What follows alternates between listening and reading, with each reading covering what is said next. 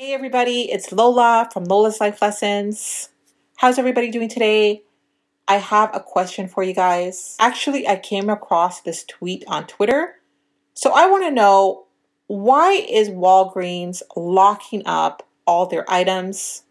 Why do people have to find a staff to unlock a glass cabinet if they want to buy something? So this tweet reads, every item in this SF Walgreens is under lock and key. There's practically nothing you can buy without having to call an associate to unlock something. I've never been in a country that lives this way.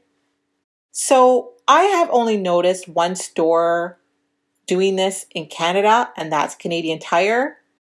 But it's for certain tools, and it depends on the area that the Canadian Tire store is in.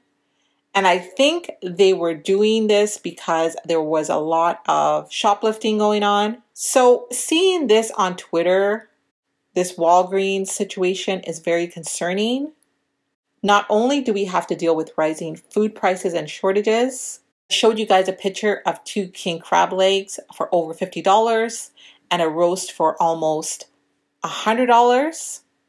But now this, and looking further into the tweets, I came across this.